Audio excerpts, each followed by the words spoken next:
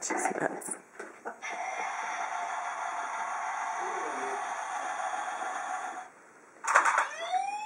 Here, I don't need this.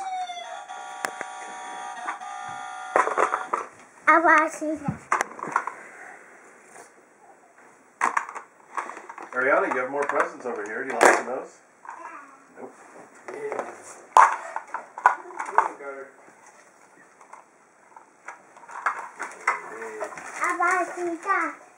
Supposed to see everything. Let's flip ya. That's Flipje. Look at Flip it. ya. What is he made out of? Cranberries?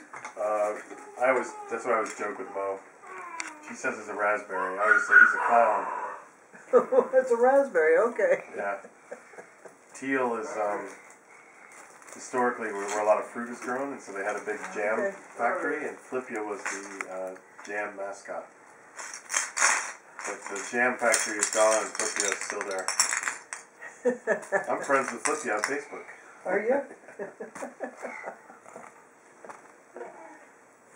Does he have wise wisdom to tell you about jam and other fruits? Or what? Yeah, but then, well, he's also